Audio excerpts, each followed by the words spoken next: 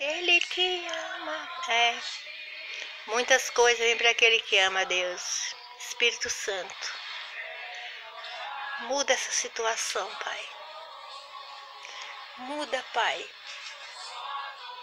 Senhor, peço por cada meus filhos, cada um deles. Que tu me deste, Pai, cada um que foi tido com sofrimento cada sofrimento meu será acolhido, Deus, para que outros venham, Deus. Um dia eu possa ajudar outras pessoas a se libertar como eu me libertei.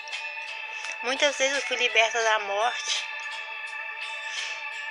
Quando aquele dia que eu tomei aquele chá, sentei, dei aquela gofada, cheguei no, na pia do banheiro, era sangue. Olhei para o espelho, não tinha um pouco de sangue na minha cara, tirei de repente, porque senão eu, eu ia desmaiar. Naquele dia pus tanto sangue, tanto sangue, que eu falei, Deus, eu não quero morrer agora, eu não fiz a tua obra.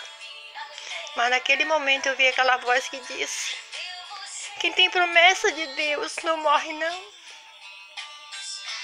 Foi aquela voz que eu vi naquele momento que me animou. Minhas filhas chamaram meu genro, me levaram para o socorro, tiraram várias chapas e não havia nada em mim. Nada, nada. Mais uma vez Jesus Cristo me livrou da morte.